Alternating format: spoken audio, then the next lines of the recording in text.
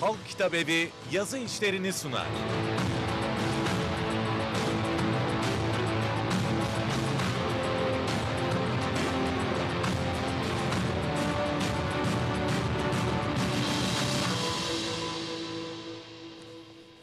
Hayırlı günler sevgili izleyiciler. Saat 11. Halk TV'desiniz. Yazı işleri başlıyor. Ee, Bugün e, konuğum e, Cumhuriyet Halk Partisi e, milletvekillerinden, eski milletvekillerinden ve Sosyalist Enternasyonel e, Başkan Yardımcısı e, Umut Oran. E, e, ancak e, az sonra Kemal Kılıçdaroğlu Kahramanmaraş'ta e, bir toplantıda konuşacak. E, canlı e, olarak ona bağlanacağız. Ama e, o saate kadar ben bazı notları sizlerle paylaşmak istiyorum. Evet e, enteresandır. Dün Tayyip Erdoğan ben ne aldatıldım ne de aldattım dedi. Bundan sonra da ne aldatırım ne aldanırım dedi. Şimdi hani insan bazen düşünüyor ya bu, bu hafıza e, mı kaybı oluyor? Yani en bilinen sözü aldatıldık Allah bizi affetsin sözü. Fakat tabii dikkatle bakınca e, dünkü beyanın ben daha doğru olduğunu düşünüyorum. E, yani ne aldatıldım ne aldattım. Hani aldatmadım mı belki aranızda tartışabilirsiniz ona bir şey diyemem ama hani aldatılmadım e, sözü bence daha doğru. Çünkü bu cemaatle olan ilişkilerinde e, nereden çıkıyor bu aldatılma? Her şeyi biliyorlardı. Her şeyi birlikte yaptılar. Özellikle ne kadar pis iş varsa bu cemaate verildi. Neden? E çünkü onların aklı daha çok eriyor. Özellikle bu dinleme, izleme. Şimdi ahlak, vicdan, namus falan yoksun olunca bu tür şeyleri çok kolay yapıyorsunuz. E bunları da herkes yapamaz. E, iki, teknolojiyi iyi bilmek lazım. E, işte bu bilgisayar üzerinden e, diz, in, e, dinlemeler, izlemeler, onları bir şekilde kurgulamalar. E, onları da yapmayı biliyorlar. E ağızları da laf yapıyor. E, çünkü e, AKP'nin tabanının aksine cemaat e, kendi elemanlarını bir şekilde okullara gönderdi. Yani oralardan aldıkları eğitimlerle yaratıcı, efendim e, çok böyle e, bir şeyler bulabilen, e, üretebilen insanlar olmasalar bile e, bir şeyler öğrendiler. E, o eksiği, AKP o eksiğini cemaatla ve daha sonra biliyorsunuz işte soldan gelen e, eski Marksist komünist e, olan ama e, dönüşüp e, bu tarafa geçen, karşı devrimci saflara geçen liberallere e, borçlular bazı başarılarını. E, onlara yaptırdılar bu işleri. Gayet her şey iyi gidiyordu. E, muazzam bir para sirkülasyonu vardı. Bakın bugün hani e, herkesin sorduğu sorular var değil mi? E, ya bu adam dün işte sokakta milletten borç almak için e, zorlanırdı. Şimdi nasıl oldu böyle apartmanlar işte rezidanslarda oturuyor altında jipler var şunlar var. E bu cemaatin de büyük bir bölümü e, son 15-20 yılda çok palazlandı. Çok ciddi paraları oldu. İşte el konan e, mallara bakarsanız 100 milyarı geçmiş. E şimdi onların 100 milyarı varsa onlarla iş yapanların da herhalde 4 katı falan birikmiş paraları vardır yani. 4-500 milyarda e, oralarda vardır. Yani sonuçta her şey bilinerek yapıldı. Yani öyle aldatıldık. Aa biz bunları eğitimde böyle iyi e, adamlar işte alınları da secdeye varıyordu. Biz de bunlara kandık falan. Yok böyle bir şey. Yani Ergenekon'u balyozu yaparken ona savcısıyım derken oradaki bütün komutanlara hakaretler yağdırıp bak işte önümde diz çökeceksiniz. Ben geldiğimde ayağa kalkmayanların yerini biliyorsunuz falan. E bu laflar ne alakası var kandırılmakla? Ama işte 15 Temmuz gelince e bir şey söylemen lazım. Kandırıldık dedin. Allah affetsin. İşte milletin bir bölümü de buna inandı. İyi de e, herkes bu kandırıldım e, savunmasını yapabilecek mi? Yani mahkemelerde valla kandırılmışız. İşte biz de bu adamı iyi bir adam zannediyorduk. İşte alnı secdeye varıyor.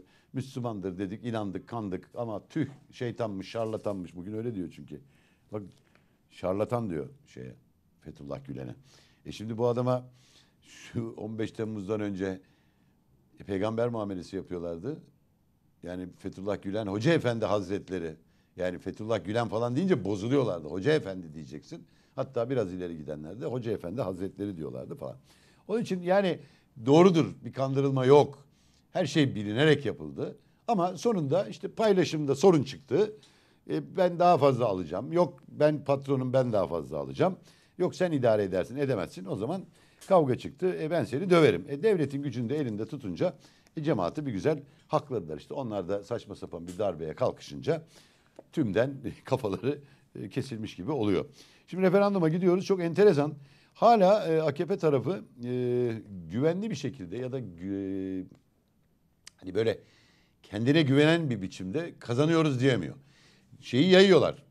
Yüzde altmışlarda işte büyük şey e, fark atacağız falan diyorlar ama ya bir anket yok mu elinizde falan dendiğinde işte hazırlanıyor gelecek falan ama mesela başbakan dün akşam ne dedi? Ya dedi bu anket falan diyorsunuz dedi. Niye açıklayalım kardeşim dedi yani. E, halkı mı yönlendireceğiz yani şey mi yapacağız algı mı yöneteceğiz falan gibi. İyi de yani bugüne kadarki seçimlerde 3-4 ay önceden başlayıp oranı hep yüksek yüksek yüksek tutup o algıyı yaratıp kamuoyunda nasıl olsa e, AKP kazanıyor e, düşüncesini yerleştirmeyi biliyordunuz. E, şimdi niye saklıyorsunuz? Çünkü şunu göğüslerini gere gere söyleyemiyorlar. Evetler önde diyemiyor. Ne diyorlar? 52 bandı. 52 demek şu. E, bütün araştırma şirketlerinin ortak şeyidir. Hata payı diye bir şey vardır. Çünkü ne kadar olsa sonuçta gerçek bir oy kullanma değil. Bu değişik yöntemler uygulanarak kamuoyundaki önceden belirlenmiş e, kitlelere nedir bu? İşte yaşa göre, cinsiyete göre, gelir düzeyine göre, eğitim düzeyine göre, coğrafi bölgeye göre, e, efendim e, inanç sistemine göre toplumun böyle bir şeyi çıkar, e, yelpazesi çıkar. Ona göre, oranlara göre oralardan insanlara sorarsınız ve e, bir sonuç elde edersiniz. Şimdi burada hep e, şaşırtıcı şeyler oluyor. Mesela 10 bin kişiyle yapılan, 10 bin kişiyle yapılmasının çok önemi yok. Bu iş 1200 kişiyle yapılır. Çok net de sonuç alırsınız. Çünkü bütün katmanlardan örneklere ulaştığınız için onları topladığınız zaman aşağı yukarı genel sonucu size verir. Anket böyle yapılır. Onun için hani 20 bin kişiyle yapılan anket dendiği zaman onun daha başarılı ya da daha doğru olduğu anlamı çıkmaz. Bir kere bunu bilelim. Şimdi bu araştırmalarda hata payı diye bir şey vardır. Direkt oylama olmadığı için hani gidilen hedeflerde şaşmalar olabilir diye artı eksi hata payı vardır. Yani bu da genellikle iki ya da üçtür. Genelde ikidir. İşte daha e,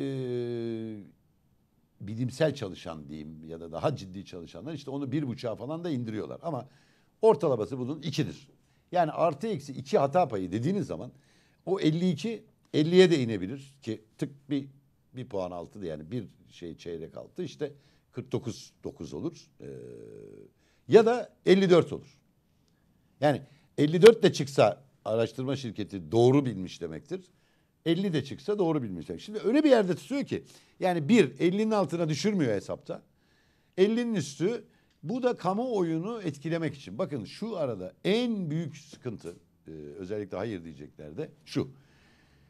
Hayır vereceğim diyor ama evet kazanacak diye düşünüyor. Bakın araştırmasını yapmışlar. Yüzde e, evet hayır diyenlerin yüzde 56.7'si evet çıkacağına inanıyor. Bunun değişik şeyleri var. Bir seçimmiş gibi bakıp hani seçimde hep birinci çıkıyor ya AKP. Ona bakıyor oranına bakmıyor. Ya nasıl olsa kazanırlar diyor. İki bir güvensizlik var. Yani öyle ya da böyle seçimi kazanırlar. Hile yaparlar, sandıkları kaçırırlar, seçsizle oynarlar.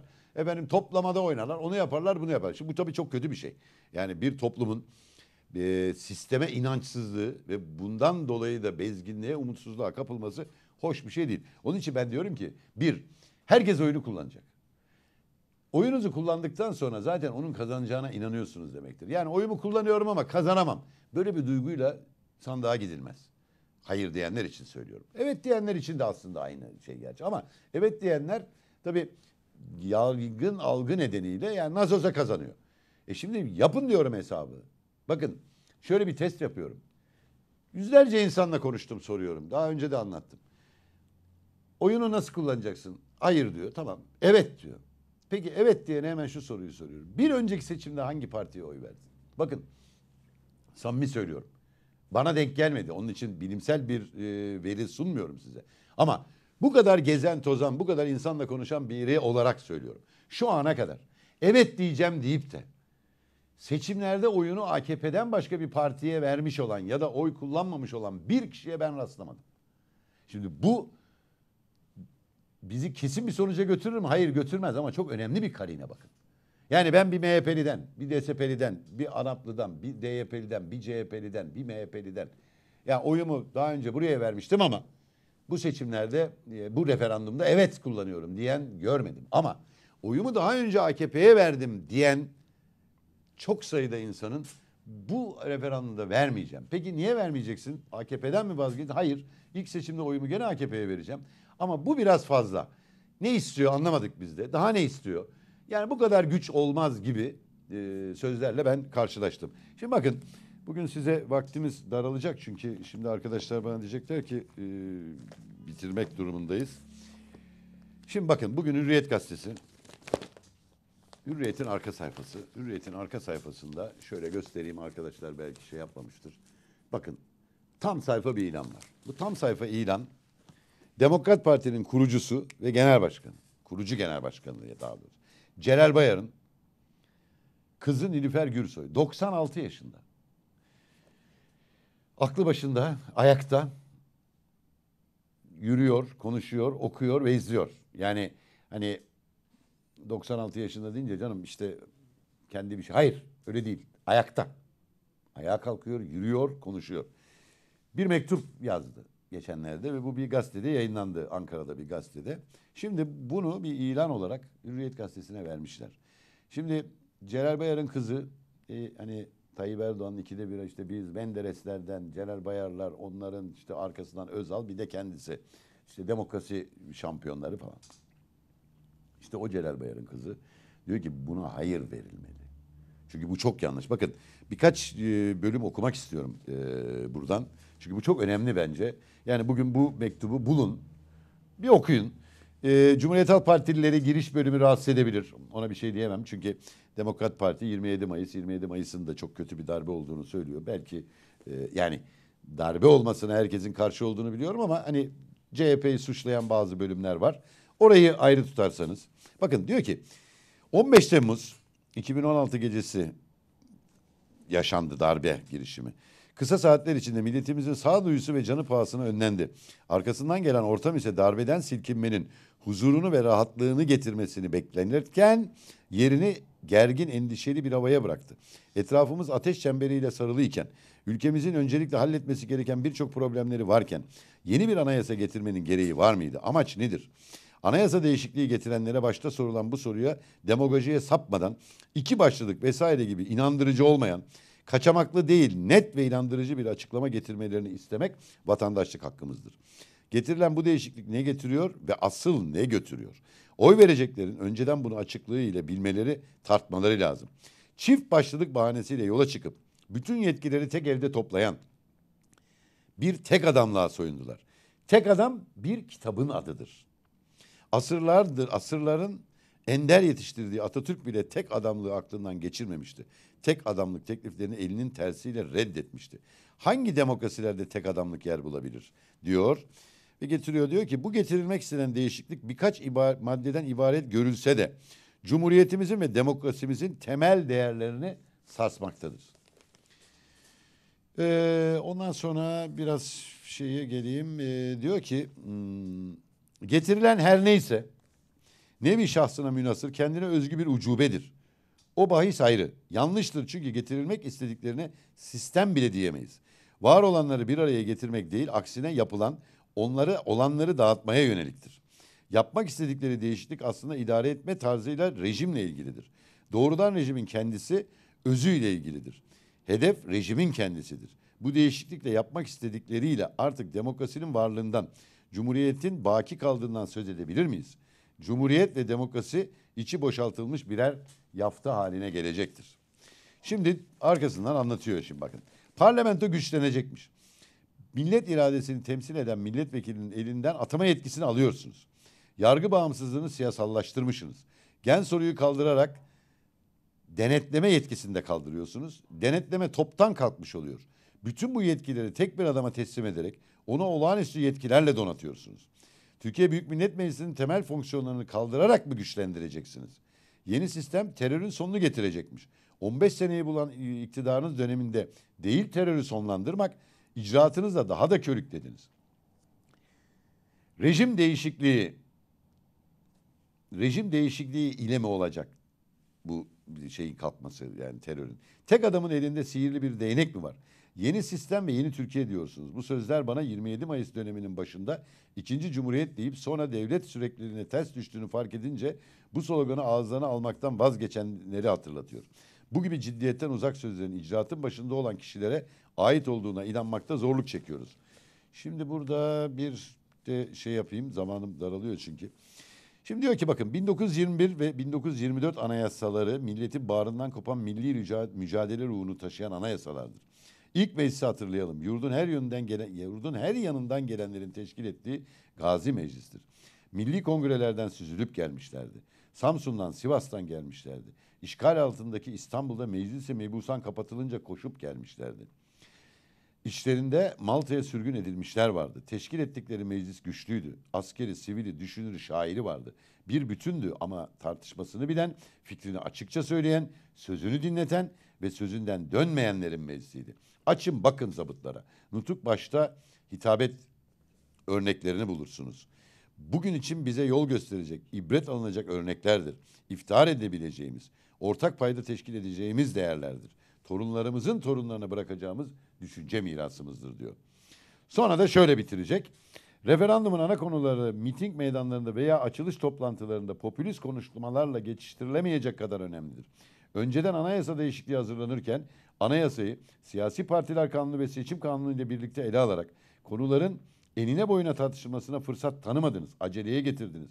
Hiç değilse demokrat ülkelerde olduğu gibi iki taraf sözcülerinin kamuoyu önünde yüz yüze tartışmalarına, tartışmasına, görüşleme, görüşlerini açıklamasına izin verin.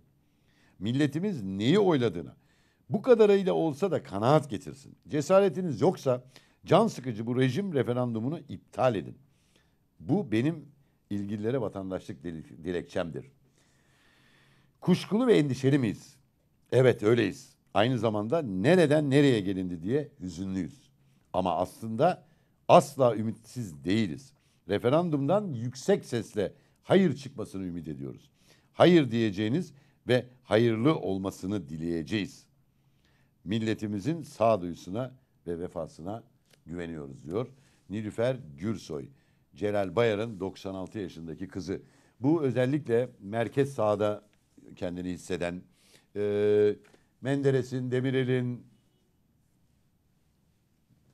yolundan gelenlerdeyiz diyenlerin özellikle dikkate alması gereken ve e, bir kere daha okuyup sonra karar e, vermeleri gereken bir mektuptur diyorum. Değerli izleyiciler şimdi bir e, reklam aramız var kısa. E, daha sonra Kemal Kılıçdaroğlu'na bağlanacağız Kahramanmaraş'a. Ondan sonra konuşma bittikten sonra Umut Orhan'la birlikte karşınızda olacağız ve Umut Orhan'ın Anadolu'da yaptığı son e, bir aylık gezinin genel değerlendirmesini sizlerle paylaşacağız.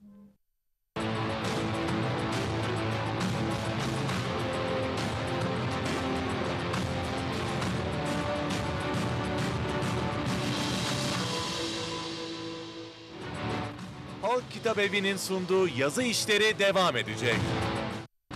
Halk Kitap Evi'nin sunduğu yazı işleri devam ediyor.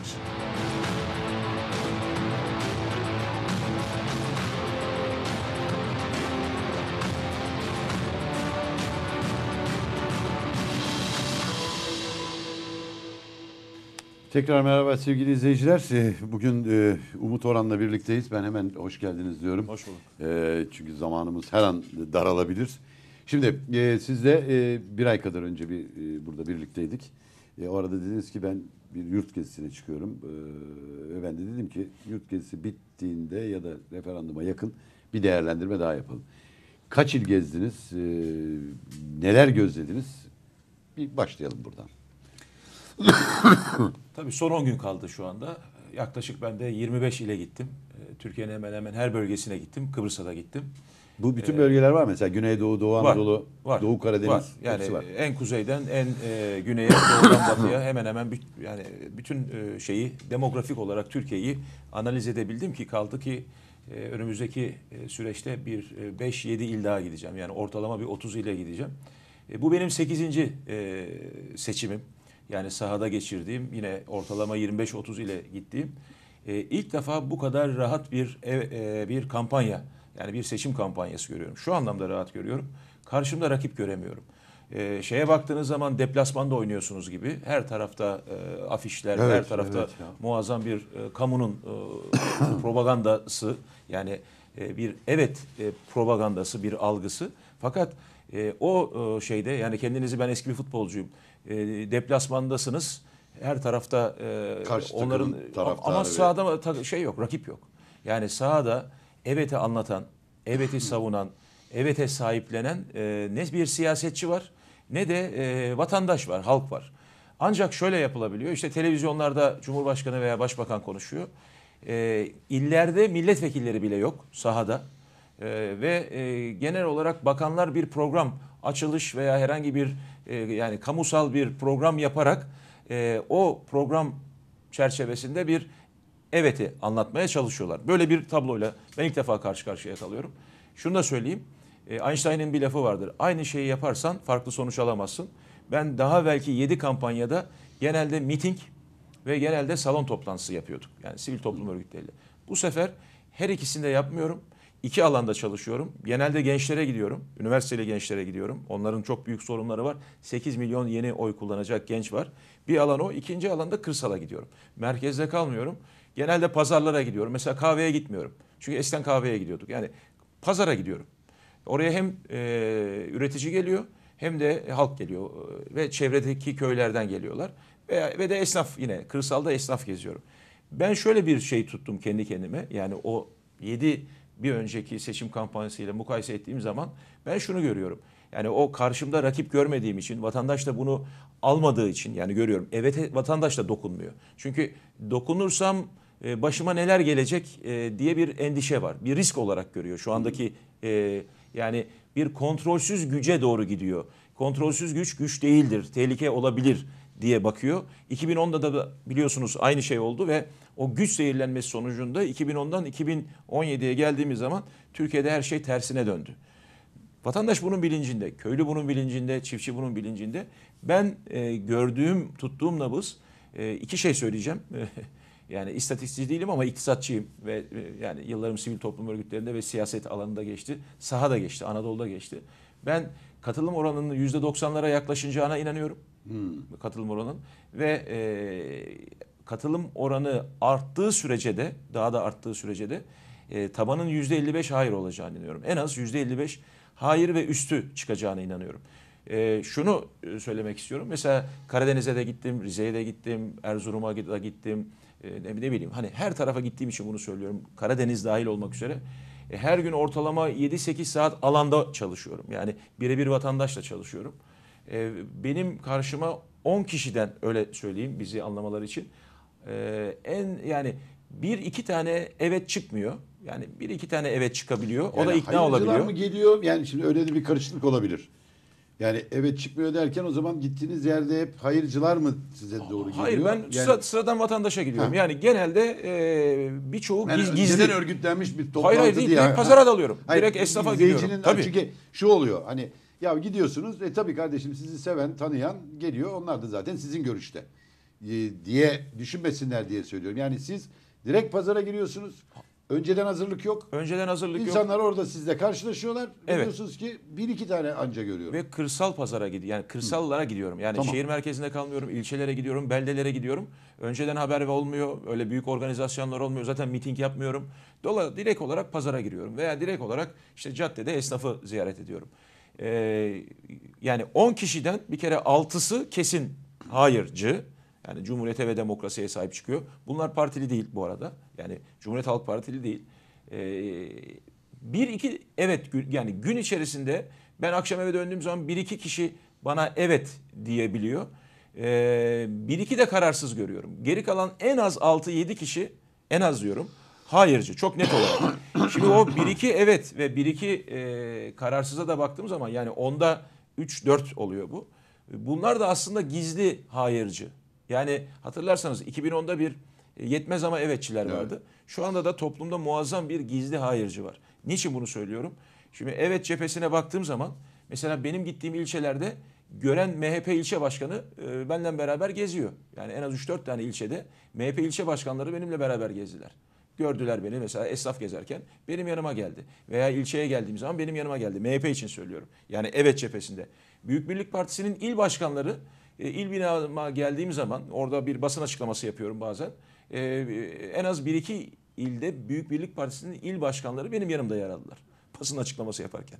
Yani onlar da evet cephesinde.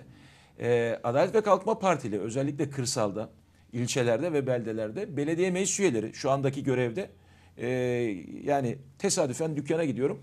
Diyor ki ben belediye meclis üyesiyim Adalet ve Kalkınma Partisi'nin diyor. E, öyle mi diyorum? Yani siz o zaman evet düşünüyorsunuz. Hayır diyor. Ben sandıkta oyumu hayır kullanacağım ama ne olur bunu dışarıda açıklamayın diyor.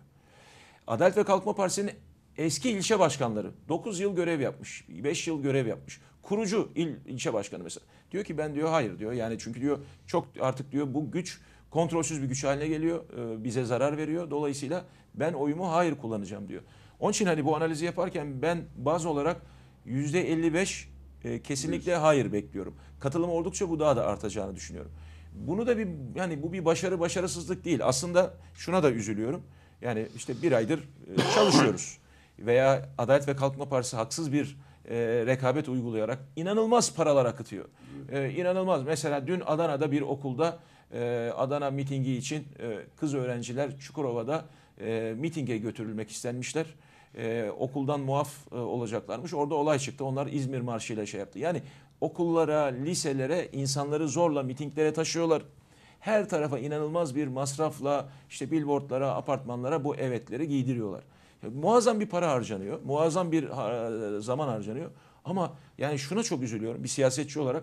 Ya vatandaşın gerçek gündemi çok acı, çok yıkıcı. Yani insanlar hakikaten mesela işte terör olayından çok muzdaripler. Yani insanlar can güvenliği, e, kendilerini güvenlikte hissetmiyorlar ve bu konudan dolayı da e, en büyük sorunları can güvenliği. En büyük sorunları işsizlik 7 milyon diyoruz. Ama her gittiğim yerde işsiz. Bakın Karadeniz, Rize. Yani size bir Rize anlatayım. Ya bir Rize anlatayım şu anda. Yani şaşırırsınız. Yani Rize'ye gittim Karadeniz şeyinde. Ee, işsizlik yani tavan yapmış. Ee, tek ürüne mahkum edilmiş bir şehir Rize, çay. Ee, tek kuruma mahkum edilmiş bir e, il yine e, Çaykur. O da varlık fonuna devredildi. Sadece çay ve Çaykur'dan dolayı sadece çalışanlar e, e, ayda e, yılda 4 ay çalışıyorlar. 8 ay yatıyorlar. 4 ay çalışıyorlar. Deniz var kullanılmamış. Tarım var kullanılamıyor. Ve muhtarlarla yaptığım görüşmede muhtarlar dediler ki biliyor musunuz? Türkiye'nin dediler en fazla su problemi yaşanan şehri Rize dediler. Yok canım dedim ya böyle bir şey olabilir mi? Yani burası iki daha evvel başbakan çıkarmış. 15 yıldır da iktidarda olan bir başbakan şimdi Cumhurbaşkanı'nın şehri. Su problemi olabilir mi dedim. Her taraf akıyor, akarsular var, dereler var. Dediler ki şu anda Türkiye'nin iddialı olarak söylediği yani bir 10-15 muhtarla yaptığım görüşmede en fazla su problemini yaşadığı şehir dediler. Ve en kirli su dediler Türkiye'de iddialı olarak Rize dediler. Sonra baktım yani bu kadar hani e, e, yani bu kadar büyük bir Rize'ye en son 2011'de gitmiştim. Bu kadar büyük bir şey beklemiyordum. Yani e, sosyoekonomik sıkıntı beklemiyordum açıkçası. Çünkü e, işte Cumhurbaşkanı'nı dinliyorsunuz Rize'de neler anlatıyor.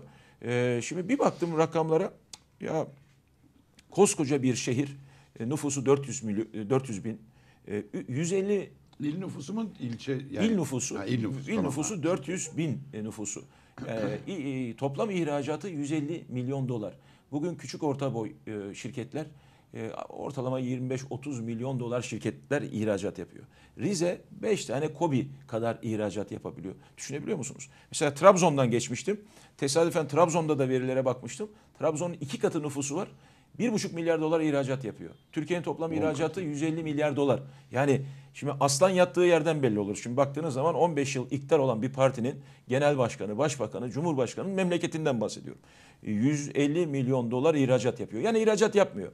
Sonra baktım ya dedim bu 15 yılda bu iktidar Türkiye'de ne kadar e, yatırım teşvik belgesi dağıtmış? 50 bin 15 yılda yatırım teşvik belgesi dağıtmış. Peki dedim bu Rize bundan aslan payı almış mı almamış mı? Aldığı pay binde iki. 138 yatırım teşvik belgesi almış Rize. Sonra dedim ya buna bakınca bir de istihdama bakayım. Yani 7 milyon işsizimiz var ama bir de istihdama bakayım. E, ne kadar e, istihdam sağlamış 15 yılda iktidar tek başına güçlü iktidar dedikleri 2 milyon toplamda istihdam sağlamış 50 15 yılda. Rize bundan ne almış? 3000 2 milyon içinde 3 bin istihdam almış. Yani hakikaten sonra vatandaşla konuştuğunuz zaman yani ben e, yüzde 80 oy aldığı iktidar partisinin e, ve şu andaki Cumhurbaşkanı memleketinin ekonomik verileri dip yapmış vaziyette. Bir gün önce yani ben bunları gördüm. Benden birkaç gün sonra Cumhurbaşkanı orada miting yaptı. Evet. Cumhurbaşkanı dinledim. Dedim ki herhalde dedim ben başka bir yerden mi geliyorum acaba Rize'den gelmiyorum mu dedim. Yani makyaj var, binalar, inşaatlar falan da vatandaşın durumu bu. Yani su bile yok, iş yok, aş yok, göç var. Anlatabiliyor Peki muyum? şunu nasıl değerlendiriyorsunuz? Yani ben de onu bir türlü kafamda oturmuyor. Şimdi bu anlattığınız tabloya bakıyoruz. Sonra dönüyoruz bir yıl önce yüzde seksen alıyor. Yani bu 1 Kasım'dan bu yana bu hale gelmedi herhalde Rize.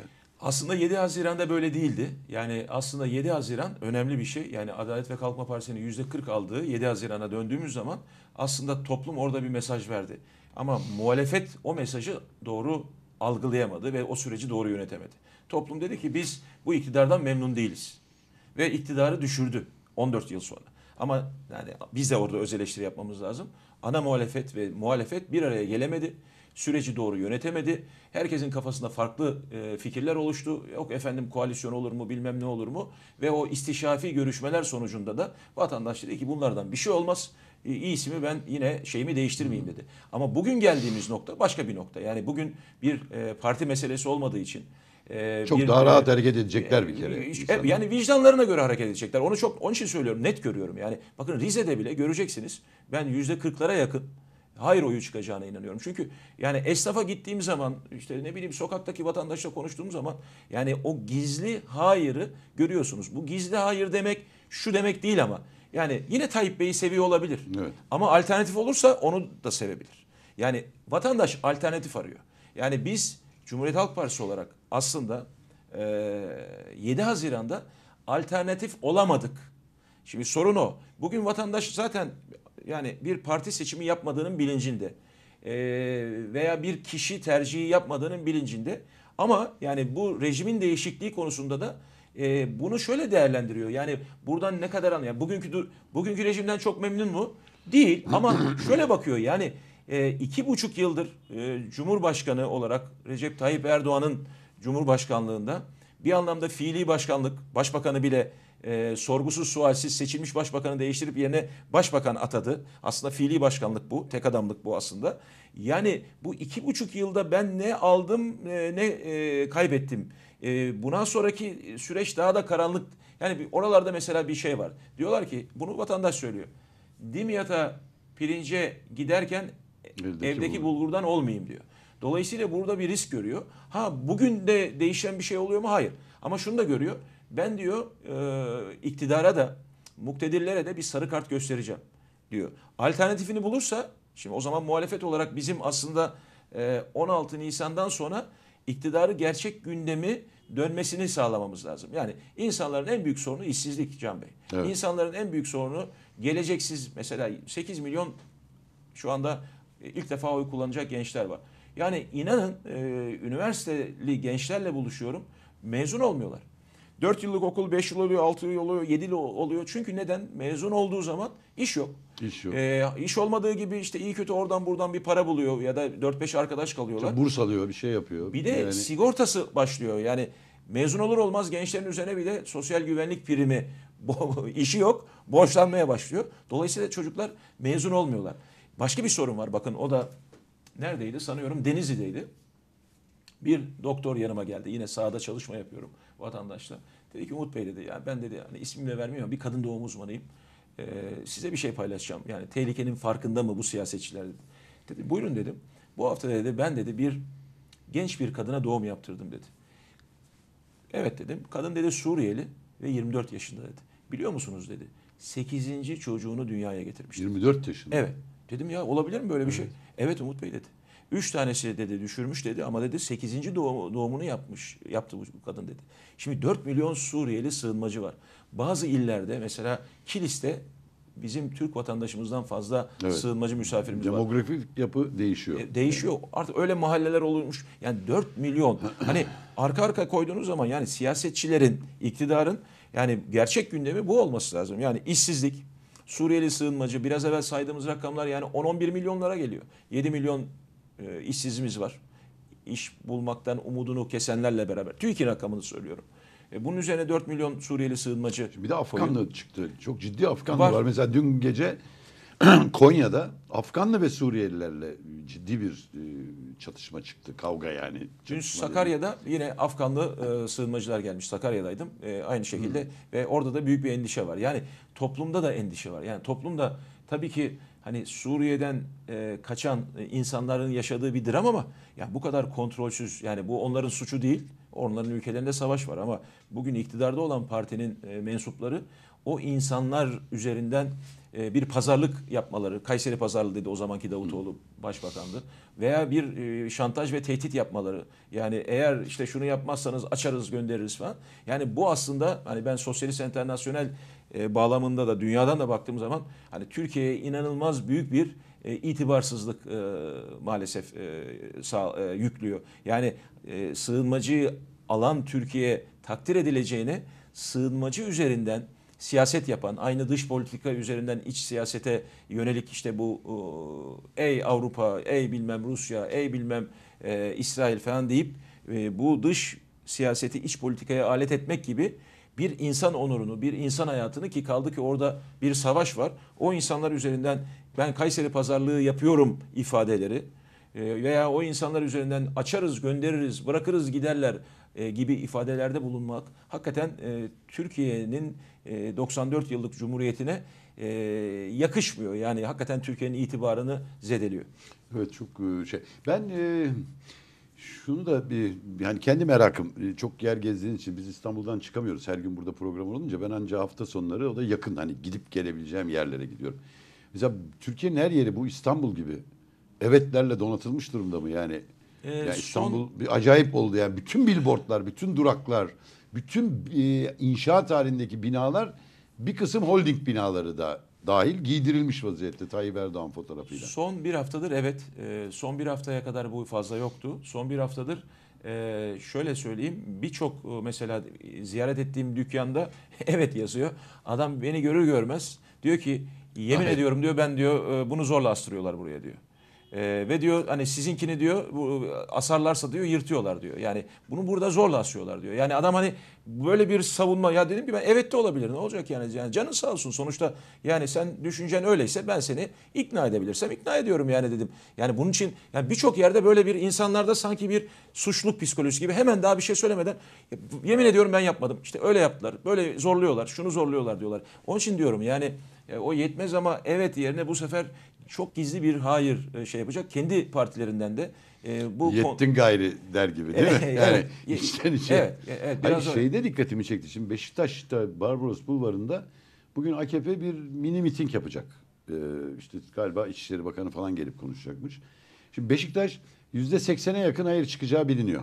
Yani bu daha önceki seçimlerden de gözüküyor. Zaten CHP'nin oyu yüzde yetmiş sekiz.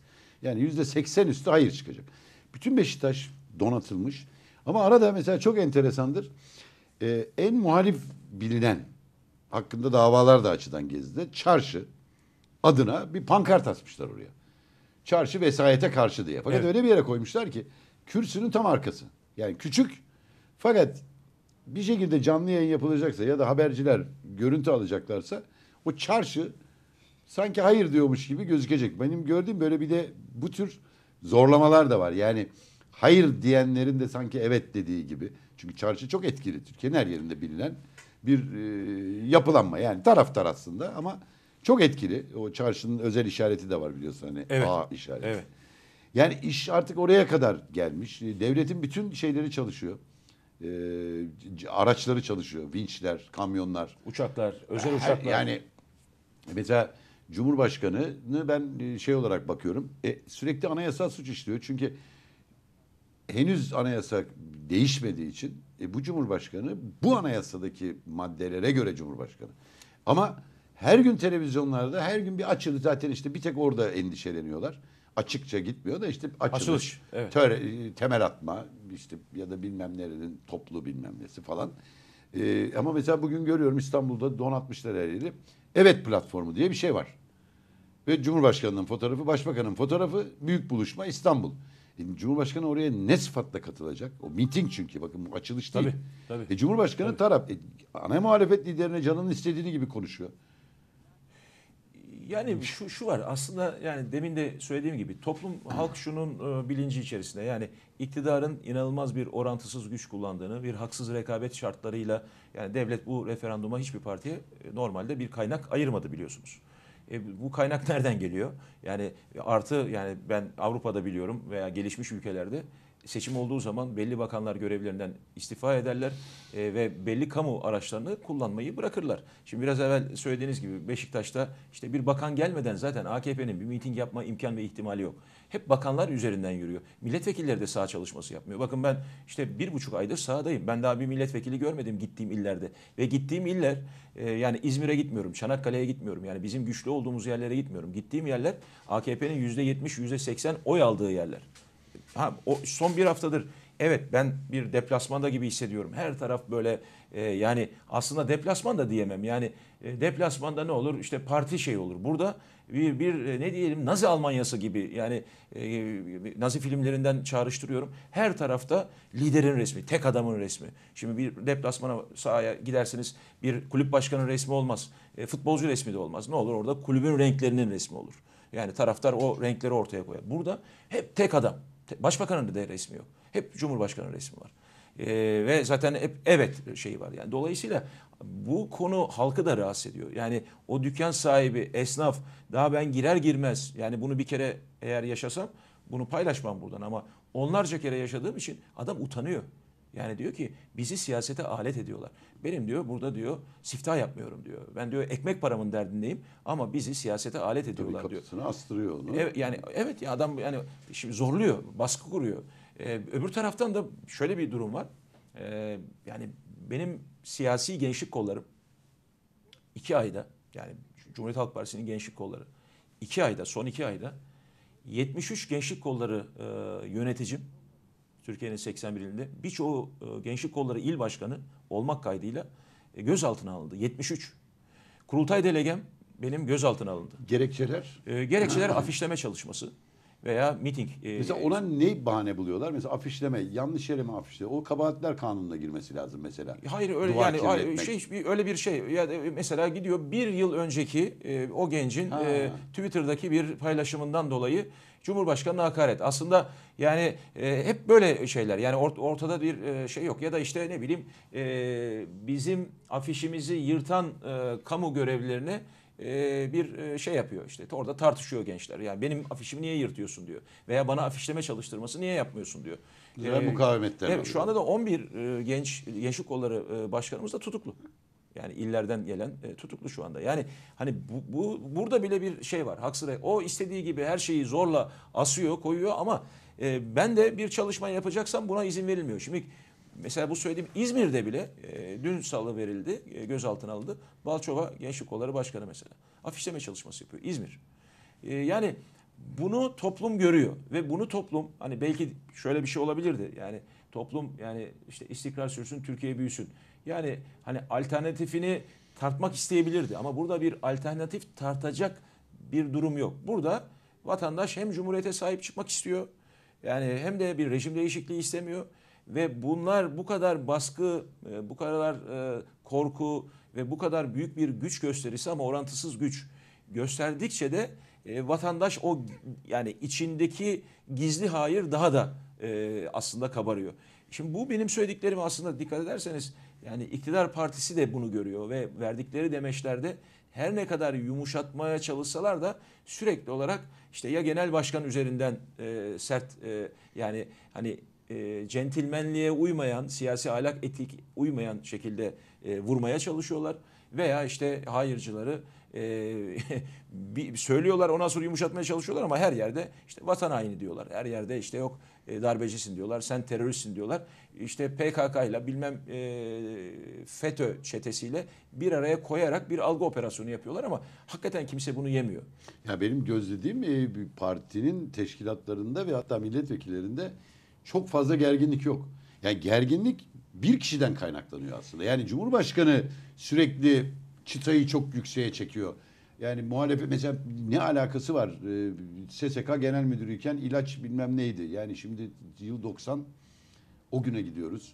Bir ne bileyim yıl 46 o güne gidiyoruz. Yıl 38 o güne gidiyorlar falan. Ama e, partinin tabanına bakıyorum. Yani sokakta bir gerginlik yok. Bir iki yerde e, işte o standlarda itiş kakış oluyor. İşte bazı meczuplar çıkıyor. Dün işte bir tanesi ben belayım diye bir CHP şeyine. Mesela o adamı almıyorlar. Aa, Başka tabii, bir yerde. tabii, Hiç tabii. dokunmuyorlar Tabii, bile. evet. Ee, Yani yani, o- Cumhurbaşkanı bu kadar gerginleşti ama belki de o bakıyor diyor ki ya bu kadar yumuşak gidersek kaybederiz. Gerginleştirerek mi yani 1 Kasım'ı çünkü öyle kazandılar.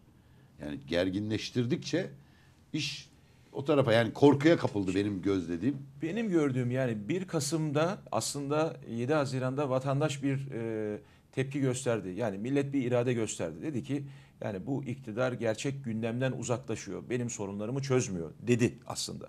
Ve aslında hani tabiri caizse topu muhalefete verdi. Yani yüzde 40 aldı iktidar partisi. Yüzde 60 muhalefet ama muhalefet orada bir takım oyununa giremedi. Giremedi canım E, tabii. ve hata yaptı yani. Ama işte ondan sonraki o terörün e, yarattığı ortamda müthiş bir gerginlik ve korku kaos olacak, mahvolacaksınız, hiç iş yapamayacaksınız. Bir daha seçime gidersek siftahsız kapatırsın. Gittiler. Şimdi Burada öyle bir durum yok ama. Yani burada sonuçta hayır, işte bugün onu yani- diyorum yani taban o açıdan daha yumuşak ama bir tek tepe nokta tabii onu başbakan takip ediyor doğal olarak ne yapsın? İkisi gerginleştiriyor yani onun dışında bakın çok Süleyman Soylu ara sıra bir gerdiriyor. İşte yani bakan düzeyinde var yani onlar da tabii Tayyip Erdoğan'a çok yakın. ama- Yani şimdi şunu da söyleyeyim hani e, yani isim vermeyeyim ama yani gittiğim bazı illerde e, yani il demeyeyim ilçe ve beldelerde Adalet ve Kalkınma Partisi'nin ben esnaf gezerken belediye başkanları iniyorlar. E, Geliyorlar benimle tanışıyorlar. E, Hatta diyorlar ki gelin sizi belediyemize ağırlayalım, e, yemek ikram edelim diye. Yani aslında tabanda böyle bir gerginlik yok. Haklı- Haklısınız. Yani insanlar aslında huzur istiyorlar. İnsanlar barış istiyorlar. İnsanlar sorunları çözmek istiyorlar. Bakın mesela Konya, Manisa'da e, yani şöyle bir şeyi söyleyeyim size. Çiftçi köylüyle o pazarlarda beraber olduğunuz zaman yani vatandaş her şeyin bilincinde. Vatandaş bana hatırlatıyor. Umut Bey diyor biliyor musunuz diyor. Bu iktidar diyor. Türkiye'de tarım bitiriyor diyor. Ben dinliyorum sadece. E, Biliyorum diyorum işte mazot falan. Hayır diyor. O da bit yani sadece diyor mazotun pahalı olması, sadece diyor işte e, tarım ilaçlarının pahalı olması değil diyor. politika. E, e, politika diyor. Bunlar diyor karar vermişler diyor. Yani hani Türk çiftçisini, Türk köylüsünü Atatürk köylü milletin efendisidir dedi diye bunlar Atatürk'e karşı oldukları için tarım bitiriyorlar diyor. Yok diyor ya öyle değildir falan diyorum. Ya nasıl öyle değildir diyorlar. O zaman bana anlatır mısınız diyorlar. Bir Sivas büyüklüğünde, bir Sivas ili büyüklüğünde ya da bir Konya'nın yarısı kadar bir alan e, devlet, hükümet bazı yandaş iş adamlarını da yanına alarak e, 100 yıllığına kiralamış biliyor musunuz diyor. Ben tabii konuşturmak için biliyorum da e, öyle mi nerede diyorum. Türkiye'nin neresinde diyorum. Ya Umut Bey ne Türkiye'si diyor. Diyorum Konya'da mı diyorum. Hayır diyor. Sudan'da diyor. Sudan neresi biliyor musunuz diyor bana. Ben de diyorum biliyorum Afrika diyor ya diyor. Buradaki tarımı bıraktılar diyor. Gitmişler diyor Sudan'da Afrika'da 9 milyon e, dönümlük bir tarım arazisi kiralamışlar. Buradan ya Türkiye'ye yabancı yatırımcı getireceğine yandaş yatırımcıları da almışlar zorla oraya götürmüşler. Orada ucuz tarım ve gıda ürünleri üreteceklermiş. Afrika'dan Sudan'dan Türkiye'ye vatandaş ucuz meyve sebze yesin diye getireceklermiş. Bunu köylü söylüyor. Ve diyor ki yani yani bize diyor bu şey yani bunu görüyor. Yani e, onun oranın belediye başkanı da bunu görüyor. Yani oranın belediye başkanı da biz orada dolaşırken boşuna gelmiyor yanımıza. Yani elimizi sıkıyor. E, İktidar Partisi'nin belediye başkanı. Yani şimdi taban bunu görüyor. Dolayısıyla biz ben bakın ne diyorum? Ben 8. seçimim. Ben bu kadar e, yani futboldan karşımda rakip yok. Arıyorum bazen yani akşam eve döndüğüm zaman diyorum ki ya ben çalıştım ettim de yani ben acaba başka bir yere bakın Rize'den bahsediyorum. Ben e, Cumhurbaşkanı dinlerken ya dedim ben geçen hafta Rize'ye gitmedim mi? Acaba ge- evvelki seçimlerle mi karıştırıyorum diye şaşırdım. Sonra Cumhurbaşkanı dinledim. Ertesi gün işkur kuyruğunu gördüm. Yeni, yani Allah'ın hani sopası yok ki. Ertesi gün işkur. Çaykur'a işte o 4 aylık e, başvuru sabahlara kadar orada insanlar kuyrukta Kuyruk beklediler. 4 ay çalışmak için. Şimdi e, Kemal Bey e, çıkmak üzereymiş. E, çok az zamanımız var. Ben bir konuda daha görüşünüzü çünkü Güneydoğu'yu hiç konuşmadık. Orada kaç ile gidebildiniz? Güneydoğu'da e, yarın Şanlıurfa'ya gideceğim. E, doğu'da Erzurum'a gittim. Güneydoğu'da yani çok Güneydoğu'ya e, daha gitmedim. Yani önümüzdeki Yani oradaki Hayır. hava nasıl diye. Çünkü Görüşüyorum. herkesin merakı şu. Yani HDP oyları evet mi hayır mı çıkacak? E, orada bir e, şeylik var, kararsızlık var sanki. Ben orada da şöyle değerlendiriyorum. Yani o bölgeyle yaptığım görüşmelerde yani olay orada bir HDP oyu olmayacak. Orada yaşayan insanların eee, 15 yılın bir muhasebesini ve özellikle iki buçuk yıl, son iki buçuk yıl yani hem o açılım süreci yani o çözüm süreci e, silahların e, şehirlere inmesine, girmesine müsaade edilmesi ondan da rahatsız oldu oradaki toplum. Sonra da e, oralara e, müdahale edilerek yani teröre e, müdahale edilerek, mücadele ederek o şehirlerin yıkılması, yok edilmesi. Şimdi düşünsenize yani e, mesela Şırnak'a e, gittiğim zaman e, iki ay evvel e, yani şehrin merkezinde benim il binam şehrin merkezinde benim il binam şu anda yerinde yerler esiyor, yıkıldı. Yani o bombalamalardan dolayı. Şehirlerin e, bu e, şeyde işte e, Libya'da, Irak'ta o e, Filistin'de gördüğümüz şeyler var. E, tablolar var. Şey, Yıkıntılar. bir binanın yarısı e, ortadan ikiye bıçakla kesilmiş, yarısı yıkılmış harabe, yarısı o görüyorsunuz. Yani duvar yok ama orada insanlar yaşıyor. Yani insanlar orada işini, aşını, geleceğini kaybetmiş. Yani o insanlar e, bir bunun bir parti seçimi de olmayacağının bilinci Hayır, ben içerisinde. oran olarak tabii HDP'de yani hani HDP'ye oy veren bir yüzde 60'a yakın kesim vardı. Hani o oyu verenler referandumda ne yaparı e, yani yoksa HDP olarak sormadım. Ben yani e, yani sonuçta insanların derdi demin de söylediğim gibi can güvenliği birinci öncelikli. İnsanların canları güvenli değil. Yani iktidar şu anda insanların vatandaşın can ve mal güvenliğini koruyamıyor. Bu çok önemli. Doğu ve Güneydoğu için söylüyorum. İkincisi insanların işleri yok, aşları yok. Doğduğu topraklarda karınlarını doyuramıyorlar. E ne yapıyorlar? Ya işsiz kalıyorlar ya da da göç ediyorlar. Yani o insanlar mutsuz. Sonuçta bu mutsuzluğu onlara veren bu siyasi iktidar. Ve özellikle son iki buçuk yıldır e, şey çok değişti. Yani tansiyon hani ritim çok değişti. Ritim sürekli olarak bir yani çok yukarı çıkıyor bir dip yapıyor. Yani hani yine e, sağlıkta bir şey vardır. Ritim bozukluğu vardır. Nabız 60 atması gerekirken bir 40 atar bir 140 atar. Sonra da komaya girersiniz. Yani orası şu anda e, Türkiye'nin ve o bölgenin e, her an komaya girebileceğinden ve bu kontrolsüz güçten rahatsız. Evet e, çok teşekkür ediyorum. Çünkü Kemal Kılıçdaroğlu Kahramanmaraş'ta konuşmaya başlamış. E, zannediyorum bizim artık süremiz kalmaz. E, değerli izleyiciler yarın saat 11'de e, tekrar e, görüşmek üzere. Hepinize hayırlı günler, hayırlı işler, hayırlı kazançlar diliyorum. Umut Orhan'a tekrar teşekkür ediyorum Ben geldiği için. Halk Kitap Evi yazı işlerini sundu.